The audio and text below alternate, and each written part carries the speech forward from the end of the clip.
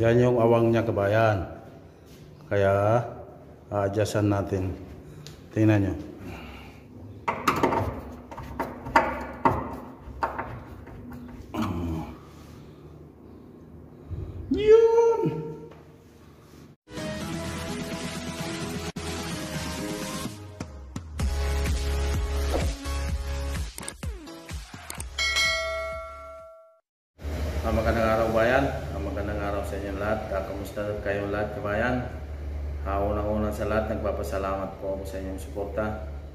Nagpapasalamat po ako sa panonood dyan ng video ko. At siguro kahit kunti, nabibigyan ko kayo ng kahit kunting idea. ah, maraming maraming salamat kabayan. Ah, ngayong araw pa lang bayan, ang gagawin natin, gagawa uli ako ng cabinet. Ngayon, ibibigay ko lahat sa inyo kabayan yung idea kung paano magkabit ng pinto at at kung anong conceal hinges ang gagamitin natin. Ah, tara kabayan, ah, samahan niyo ako. Pero bago tayo magsimula, siguraduhin niyo muna nakasubscribe kayo sa channel ko kabayan. At i-hit niyo yung notification bell para update kayo sa lahat ng mga tutorial video ko. Ah, tara kabayan, ah, simulan natin para hindi na magtagal. ah, tara. Gawa tayo ng cabinet kabayan. Ah, ito yung gamit natin. Ah, kasi overlap yung gagawin natin pinto kaya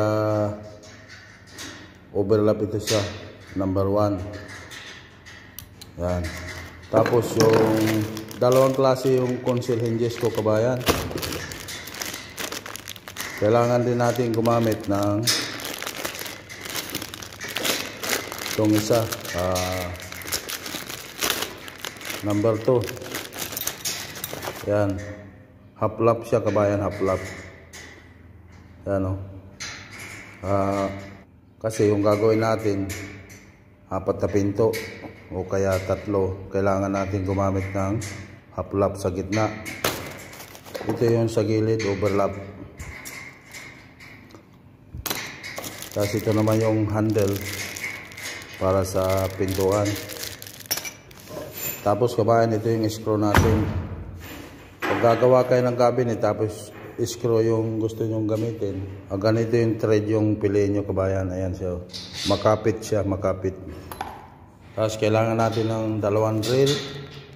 Ito yung panghigpit. Ito yung pambutas sa plywood. Ah ito pala yung ito pala yung plywood na gagamitin natin. Ayan. Ayan yung itsura. Tapos kabayan ito yung ano niya AJ banding yan. Yan parehas sila parehas.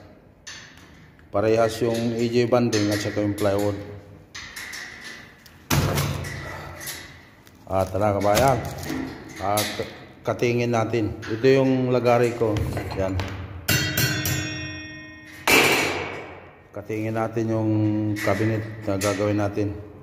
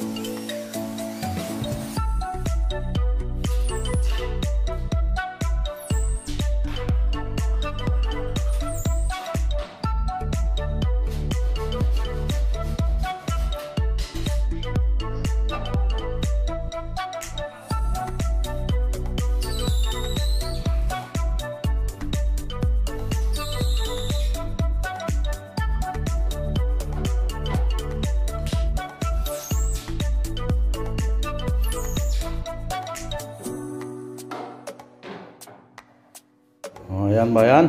Ah, okay na, okay na. ah, sandali lang magbono. Ah, ganun lang kabayan. Ah, ganun lang kadali. Ah, sige. Ah, lagyan natin ng ano sa gitna.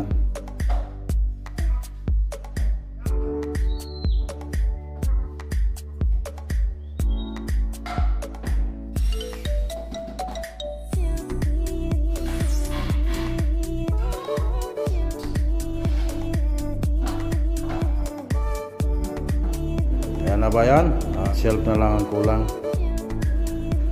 Kasi gagawin lang namin.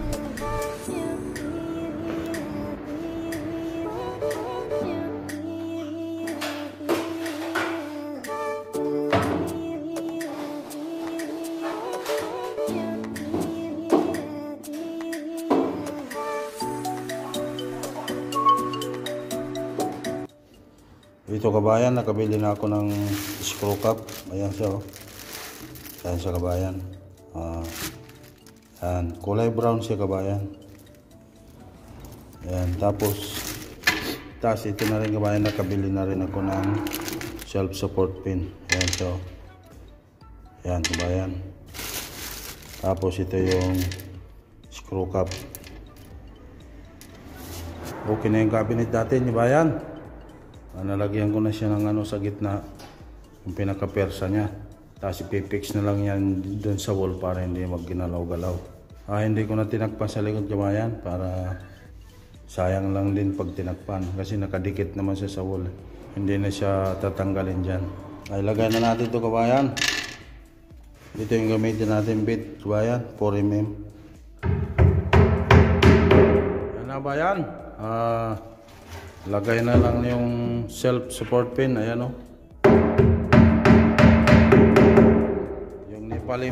क्या करेगा नेपाली का फिलीपींस में जाएगा तो Nepalim.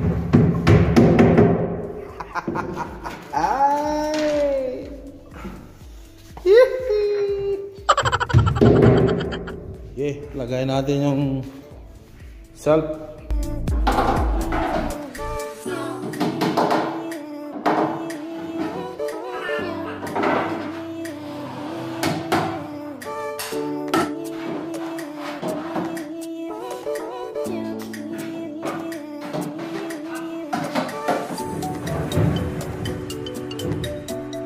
Ayos na ba yan? Yan, pinto na lang kulang, pinto. Ah, pintuan natin. Asukatan natin yung pinto, kabayan. Ah, kailangan ito, asintrohan mo muna dito kung ilan yung papasok. Halimbawa, yan. Sintrohan muna. Pati rin dito sa kabila kabayan, kailangan ma- makuha mo yung sintro dito. Yan. Yan na siya, sintro na. Tapos yung pinto natin dito, yan. Ah, magmula doon sa labas, kailangan pag kumuha ka ng guhit, guhitan mo siya ganun. Pati yung metro kabayan, para sigurado ka. Ah, puputol tayo ng 57.5 dito. 57.5 yung lapad dyan. Tapos dito sa kabila, kailangan dito kabayan, pag nagsukat ka dito sa sentro, huwag mong gamitin yung dulo ng metro. Dito ka bumasi sa 10 cm. Ah, 57 yung lumabas kabayan, mula dito. Hanggang dito, 57. Ah, babawasan natin yun ng 2 mm para sakto yung pag-adjust niya. Tapos dito sa kabila, ayun, 53 yung sentro niya kabayan, 53. Yan.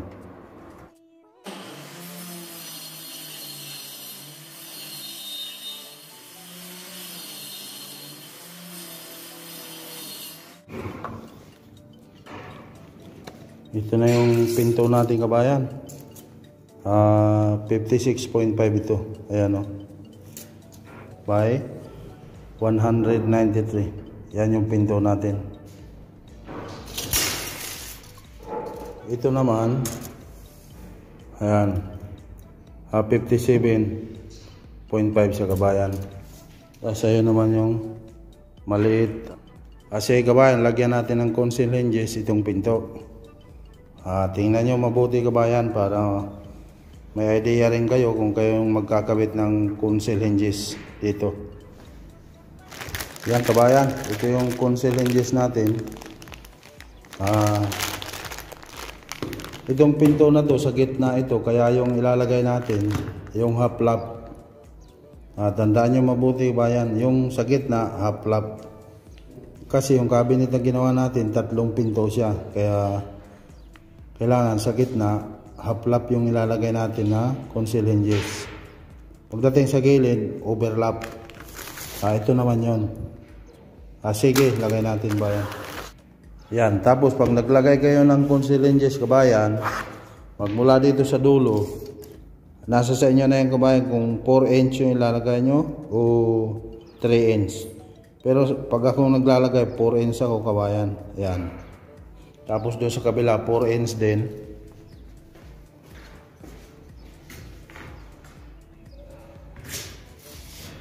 Ah, 170. I-divide natin sa dalawa. Ah, 58, kabayan, 58. 58. Ayun, saktong-sakto. Ah, 58.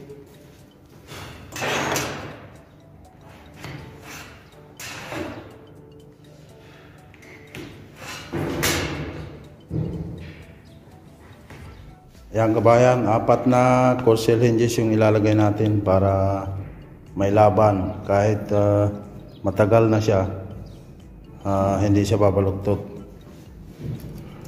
Tapos yung butas ng console hinges kabayan, ah, 2.5 lang kabayan. Ito yung pumbutas ko sa ano, sa console hinges kabayan. Ayan.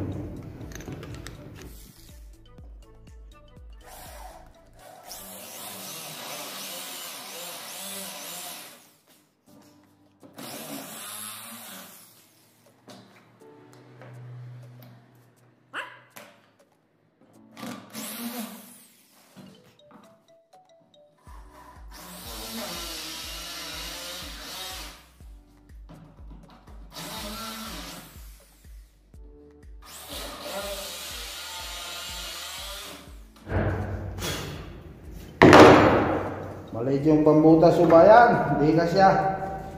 Pero na.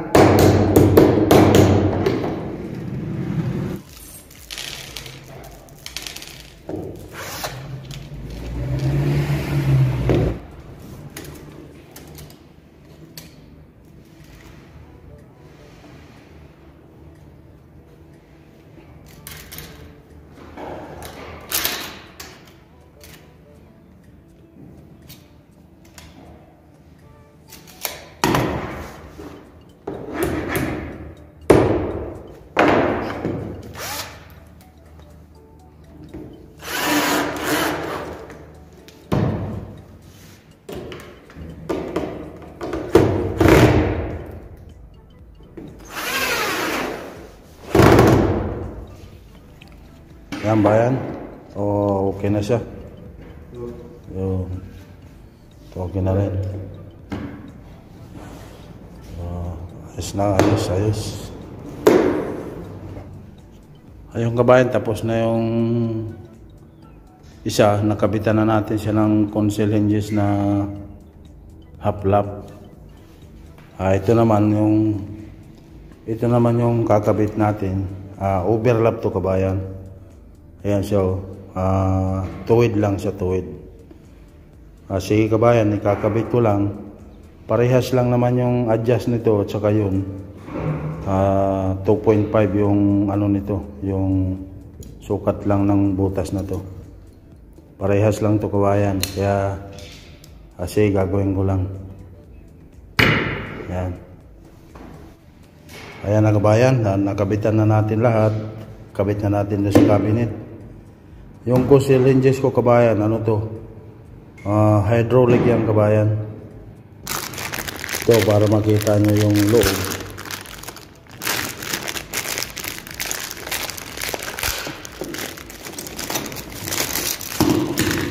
Yan sa kabayan, no? Hmm. Yan, hydraulic yung loob niya yung kabayan. Maganda to kasi hindi masisira yung pinto mo. Kasi dahan-dahan lang yung pagsara.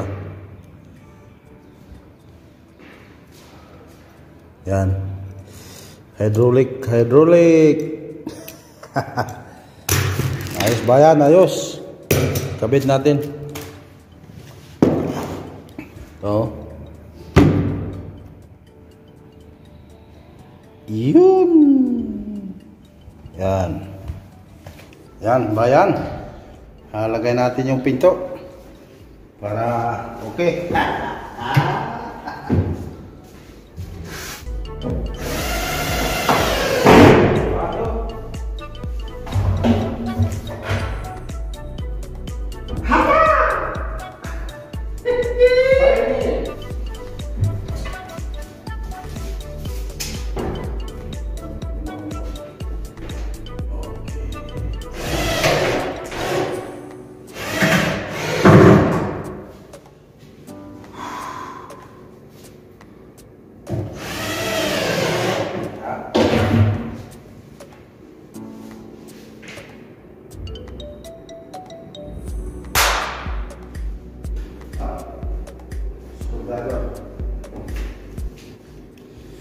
Ayos ba yan? Ayos! Yan, kabit na natin yung pinto. Yan yung awang niya kabayan. Kaya, a-adjustan natin. Tingnan nyo. Ayan.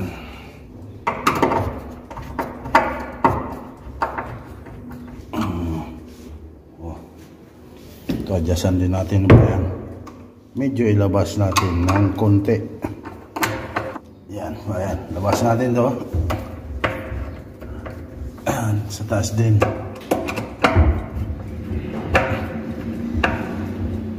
Ayan. Tapos sa baba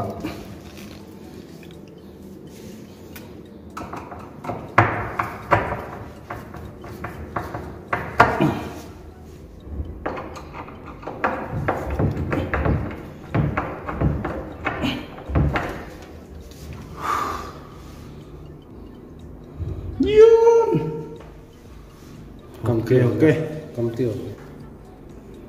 Yan, okay na ba yan? Nagdikit na, nagdikit. Ayos, ayos.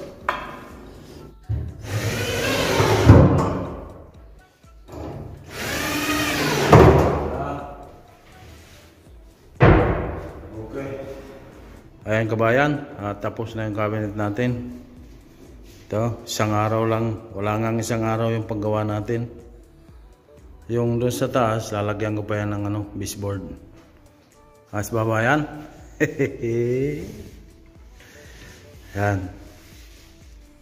Yan, kabayan. Kailangan pag naglagay ka dito sa gilid ng conceal hinges, overlap yung bilhin nyo nito. Ah, number 1, C1 yung tawagin.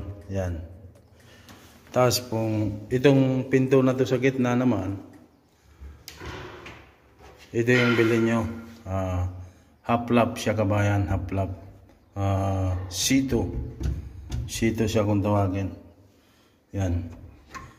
Para ma-adjust-adjust nyo siya. Para hanggang kalahati lang siya dito. Dito. Tingnan nyo kabayan. Yan. Kalahati lang siya. Tapos dito naman, yan kabayan dito sa gilid. Ah, overlap din yung console hinges dito. Ito lang yung half lap. Ganon kabayan yung paglalagay ng ano kasi tatlong pinto tayo. Yan. Ayun sa kabayan, no? Oh, okay ba? Tama lang yan yung gift na yan. Huwag masyadong masikip.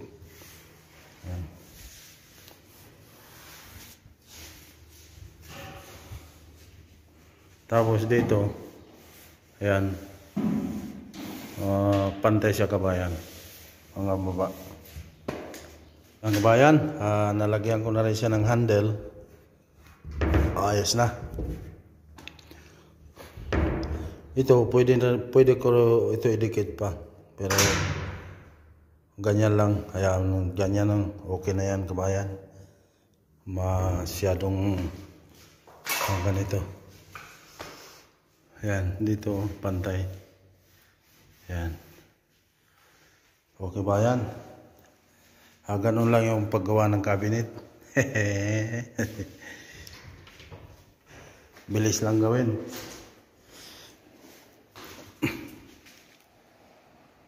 Yan. Ayos ba yan? Ayos, ayos.